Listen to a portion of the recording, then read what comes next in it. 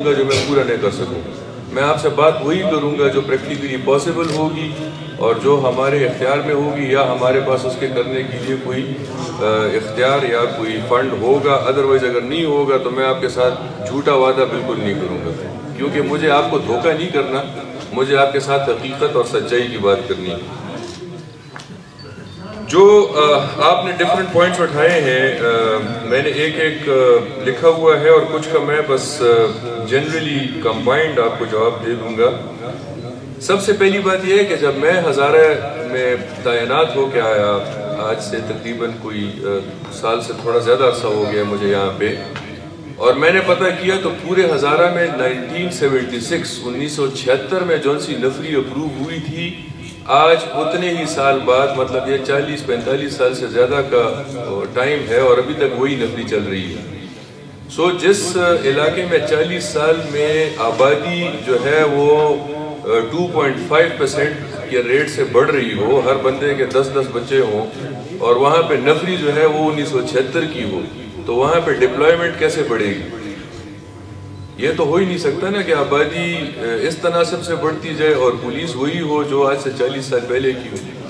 सो मैंने पहले कदम यही उठाया कि मैंने ये केस गवर्नमेंट के साथ उठाया और हमने पूरी कोशिश की जिसमें आपके एम पी ए साहब की कोशिश भी शामिल है और हमने एबटाबाद की नफरी के लिए, बल्कि पूरे हज़ारे की नफरी के लिए कोशिश की और जैसे कि शुरू में बात हुई कि यहाँ की नफरी अप्रूव भी हो गई है और अब उनकी सिलेक्शन भी होने जा रही है।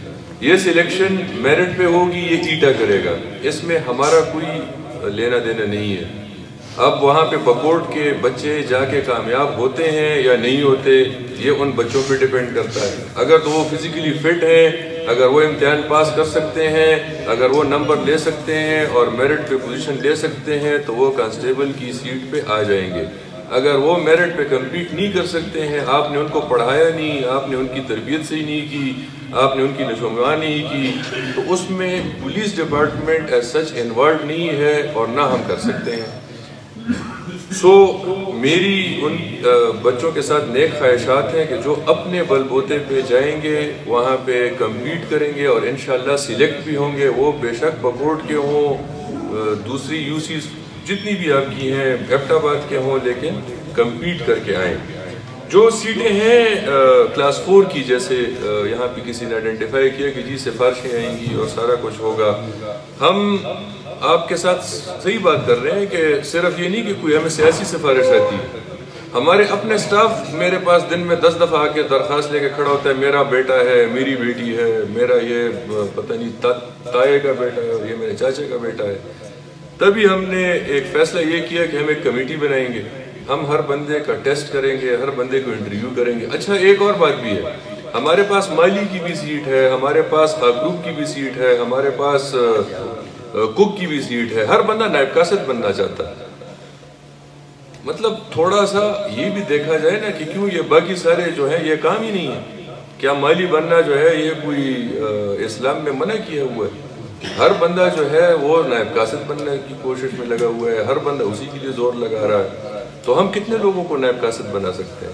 चार को बनाएँगे, बारह को बनाएँगे, बीस को बना लेंगे, लेकिन ये तो नहीं हो सकता ना कि पूरी की पूरी आबादी को नायब कासिद बनवा के हम पुलिस में भर्ती करा लें।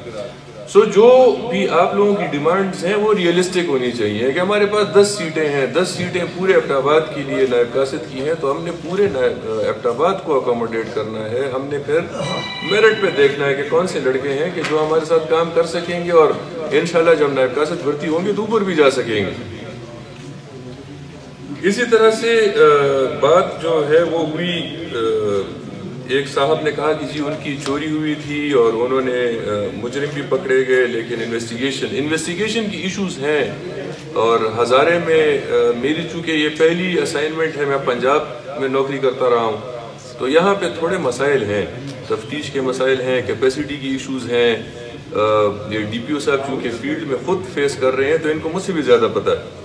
लेकिन ये कैपेसिटी जो है, ये हम इन्हांस कर रहे हैं। इन्होंने दो तीन लेक्चर ये अपने एक महीने के अंदर रखवाए हैं, जिसमें हमने सेशन जज तक के लोग, हमने अपने प्रोसिक्यूशन के लोगों को बुलवाया है, ताकि हमारे जो इन्वेस्टिगेशन के लोग हैं, उनकी कैपेसिटी बिल्डिंग हो सके और ये तफ्तीश में जो खामियाँ रह जाती हैं, ये ना रहें। सो कोशिश हमारी ये होगी कि जो आपने दरखास्तें दे दी हैं, उन पे तो हम देख लें। जैसे कि आपने ये एक्सीडेंट का, के केस की बात की है, और इसी तरह से जो चोरी और इस तरह की बाकी जो इश्यूज़ हैं इन सारों को भी हम इंशाल्लाह देख लेंगे। जो आ, आपने बात की कि जी अब सोशल मीडिया पे ज़्यादा इहिसार है और एस एच ओ और थाने आ, ये बात भी गौरतलब है कि थाने को कमज़ोर किसने किया?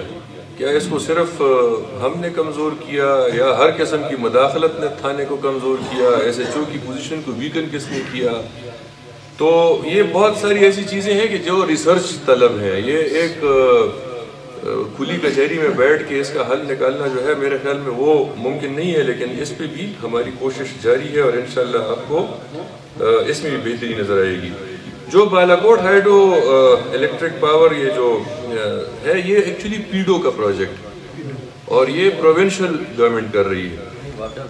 नहीं ये पीडो का ये पीडो कर रहा है, ये प्रोविंशियल गवर्नमेंट कर रही है, इसके जो भी बजट इसका आया हुआ है, उसके लिए एक कमेटी अभी तश्कील दे दी गई है, जो डीसी हमारे मानसेरा है, वो इसके ऊपर लगे हुए हैं, और जो बात आपने जो उसके हवाले से जो टावर्स इरेक्ट होंगे, इसके हवाले से आपने बात की है, ये मैं कमिश्नर के साथ उठाऊँगा बिकॉज़ ये उनका डोमेन है, और उन्होंने कंपनसेशन भी पे करनी है, और वो शायद आपकी कोई कमेटी बनाए या जो कुछ भी करें, लेकिन आपके साथ एटलीस्ट इस इशू को निगोशिएट मैं करवा दूँगा, ताकि जिसकी ज़मीन पे भी टावर लग रहे हैं, उनकी कंपनसेशन हो सके।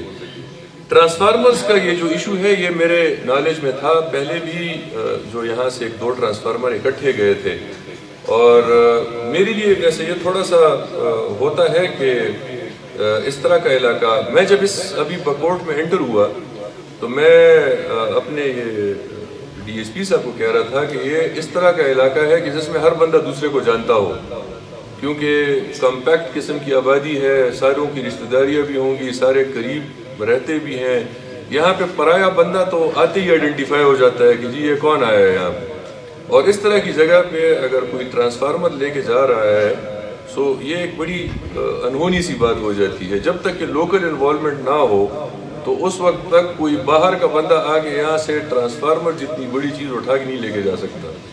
सो so, उस पर हम एक टेक्नोलॉजी के ज़रिए कोशिश करेंगे। अभी डी पी ओ साहब से जैसे वक्त आप बात कर रहे थे मैं यही बात कर रहा था कि हमें उस पर टेक्नोलॉजिकली हाथ डालना चाहिए और इन लोगों को आइडेंटिफाई करना चाहिए तो इन हम कर भी लेंगे। जो आपने मंशियात के हवाले से बात की मंशियात पे हमारी ज़ीरो टॉलरेंस पॉलिसी है। क्योंकि हमारा फ्यूचर जो है वो मुस्तबिल हमारा, हमारे बच्चे हैं। और अगर वो इस किस्म की लानत का शिकार होते हैं तो ऑब्वियसली ये हमारे लिए एक लम्हा फिक्रिया है और इस पर जितना भी हम एक्शन ले रहे हैं, शायद वो कम है और इससे मज़ीद ज़्यादा काम हमें करना चाहिए। लेकिन अगर हम चौकियाँ बनाते रहेंगे मोटरसाइकिल डिप्लॉय करते रहेंगे तो मनशियात फरोश जो है, उसने भी तो अपने लिए कोई नया रास्ता निकालना है ना? क्योंकि उसने, उसका बिज़नेस है, उसने भी बेचना है। हमें ये देखना चाहिए कि ये कौन से लोग हैं कि जो ये काम कर रहे हैं और हमारे इलाके में वो कौन सा बंदा है जो उनको सपोर्ट कर रहा है। ये तो नहीं हो सकता ना कि पिंडी का बंदा आएगा और वो बकोट में मनशियात बेच रहा होगा, बच्चे खरीद भी रहे होंगे और यहाँ पे लोकल इन्वॉल्वमेंट नहीं होगी। सो वो लोकल बंदे कौन है जो आप हमसे नहीं शेयर कर रहे इस खुली कचहरी में? जो कि इस किस्म के गंदे लोग हैं कि जो इसी माशरे में जिसमें वो रह रहे हैं, जिस वो जिसे कहते हैं ना कि जिस थाली में खा रहे हैं, उसी में छेद कर रहे हैं। उन लोगों का पता चलना ज़रूरी है ताकि जब हम उन पे हाथ डालें तो वो बाहर वाला बंदा क्यों आएगा यहाँ पे और वो किसके साथ ताल्लुक बनाएगा? जो आपने बात की कि जी ये चौकी कोहाले वाली को इधर ले जाएँ, फलानी को इधर ले जाएँ। मैं जब यहाँ आया हूँ और थोड़ा सा आप अगर किसी जगह पे कहते हैं ना कि मैंने अपने स्टाफ के लिए गसलखाना बनाना है। तो एक तरफ़ फॉरेस्ट हो जाएगा वो कहेगा ये जगह ऐसी है। दूसरी तरफ़ फिर जीडीए आ जाएगा वो कहेंगे आप यहाँ पे लकीर भी नहीं खींच सकते। कोई 500 किस्म के डिफरेंट इदारे वाइल्ड लाइफ आ जाएगा पता नहीं क्या क्या तो जहाँ पे उन्होंने कराना होता है हर चीज़ हो जाती है। जहाँ पे नहीं होता वहाँ पे आप एक छोटा जो है वो भी नहीं रख सकते ईंट भी नहीं रख सकते। सो so, मूविंग किसी एक चीज़ को दूसरी जगह ले जाना शायद हमारे लिए बहुत ज़्यादा मुश्किल हो जाए, लेकिन जहाँ पे जो चीज़ मौजूद है, अगर हम उसको मज़ीद बेहतर कर सकें, या जैसे वो डॉक्टर साहब ने अभी कहा कि जी, कमरा मैं बना देता हूँ, आप नफरी ला के दें या कुछ करें, इस तरह के प्रोपोजल्स पे हम ज़रूर काम कर सकते हैं और इन कोई बेहतरी भी लेके आएँगे। ये बड़ी अच्छी तजवीज़ है कि एस एच ओ जो है, वो हर यू सी में वी सी में खुद जाए। और ये मैं इम्प्लीमेंट भी करवा दूँगा। और ये हर हफ़्ते में किसी न किसी एक जगह पे आपकी आपकी बात भी सुनेंगे, जो भी तजावीज़ आएँगी उन पर दरामद भी कराएँगे और जो कोई मसाइल है उनका हल भी निकालेंगे। ट्रैफ़िक के हवाले से आपकी बात सही है। इसकी एड्रेस, रिड्रेसल होनी चाहिए। मैं चूँकि आज आया और इनको भी साथ इसी लेके आया हूँ, ताकि हम इस इलाके को ज़रा खुद देख सकें और थोड़ा सा जाँच सकें कि कौन सी, आपकी तो शायद बहुत सारी इस तरह की रिक्वायरमेंट्स होंगी या आपकी ख्वाहिशात होंगी कि जो पूरी हो जाए, लेकिन हम वो वाली पूरी कर सकेंगे जिनको हम इमीडिएटली एड्रेस कर सकें, जिसके लिए हमारे पास कुछ ना कुछ हो और हम उसको इम्प्लीमेंट करा के आपको बता दें कि हाँ जी, ये हमने कर दिया है। बाकी पे हम सोचेंगे या देखेंगे कि जब भी हमारे पास वसाइल आते हैं तो तब करेंगे। सूबेदार साहब ने अच्छी बात की कि जी अफगान नेशनल्स के हवाले से इसको डीपीओ साहब ज़रूर देखेंगे और वहाँ उस चौकी में अगर हम बंदा डिप्लॉय कर सके या अगर वैसी गश्त में जाके चेकिंग कर सके तो ये हम करा देंगे। कुछ जो बात हुई रूट के हवाले से तो ये भी चूँकि काम है सेक्रेटरी आरटीए का और फेयर्स भी वही लोग डिसाइड करते हैं कि जी फ्यूल कहाँ गया तो क्या फेयर होना चाहिए। हमारा काम तब आता है कि अगर वो कोई फेयर डिसाइड कर दें और उसके बरक्स कोई ज़्यादा पैसे चार्ज करना शुरू करे या कुछ तो फिर शायद ट्रैफ़िक वाले कोई एक्शन लेंगे। लेकिन जो बात हो रही थी चालान जमा कराने के लिए तो चूँकि हमारा ट्रैफ़िक पुलिस का जीएस बैंक के साथ एक वो है एमओयू है और उसी के ज़रिए पैसे जमा होते हैं तो यहाँ से वापस जाके मैं जीएस बैंक वालों के साथ बात करूँगा कि यहाँ किसी दुकान में जैसे इजी पैसा होता है और ये इस किस्म के ऐप्स होते हैं, अगर उस तरह की किसी तरीके से आप लोगों के चालान के पैसे यहीं पे जमा हो जाया करें और यहीं से आपके डॉक्यूमेंट्स वापस हो जाया करें तो मैं उसके लिए कोई तरीक़ेकार ज़रूर इन वज़ा कर दूँगा और आप लोगों को ये फैसिलिटी भी हम प्रोवाइड करा देंगे। जो बात हुई है इन ब्रिजेस की कि जी आधे ये कश्मीर में है, आधे पाकिस्तान में है, यहाँ से ट्रैवलिंग होती है और शायद लोग भी आते जाते हैं और चीज़ें भी सप्लाई की जाती हैं। तो इसकी रोकथाम के लिए भी अभी हम चूँकि उस तरफ़ जा ही रहे तो प्रैक्टिकली देख भी लेंगे और अंदाज़ा भी लगा लेंगे कि उसके ऊपर हम ऐसा क्या क्या मेकेनिज़्म डिवेलप कर सकते हैं। जो बात हुई ये प्लॉट है या जो भी दरिया के किनारे ज़मीन है, अगर तो हम उसको वेरिफिकेशन के लिए भेज देंगे और चूँकि ये भी अगर हमारे इलाके में आता है तो ऑब्वियसली एडमिनिस्ट्रेशन के अंडर आता है। और अगर हमारे इलाके में नहीं आता, किसी और के इलाके में आता है तो हम उनको इन राइटिंग भेज सकते हैं कि जी वो डिमार्केशन कर लें। सरकारी है प्राइवेट है, किस किस्म का बिज़नेस है रेगुलेट हो सकता है, नहीं हो सकता। तो अगर उसका कोई मेकनिज़म डिस्ट्रिक्ट एडमिनिस्ट्रेशन डेवलप कर सकती है तो कर लेगी। आ, हमारी तरफ़ से इनशाला सिफारिशात जो भी हैं वो वहाँ पर चली जाएगी। बाकी आ, मैं आप लोगों का शुक्रगुजार हूँ कि आप लोग यहाँ आए आ, अपना वक्त निकाला। आ, ये मेरा पहला विज़िट है। मुझे नहीं पता कि मेरी कितनी एक और टेन्योर जो है वो हज़ारे में होगी।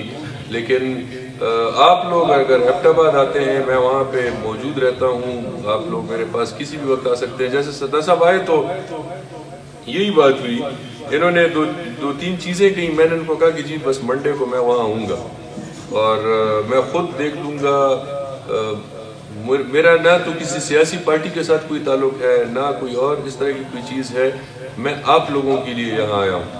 और आप लोगों के लिए ही ये पुलिस स्टेशन बनाया गया है। हम सारों को ये वर्दी पहनाई गई है और हम में ये एक रिस्पॉन्सिबिलिटी दी गई है कि जो लोग आपके जो मसाइल हैं, हम उनका कोई हल तलाश करें, उनकी रिड्रेसल करें।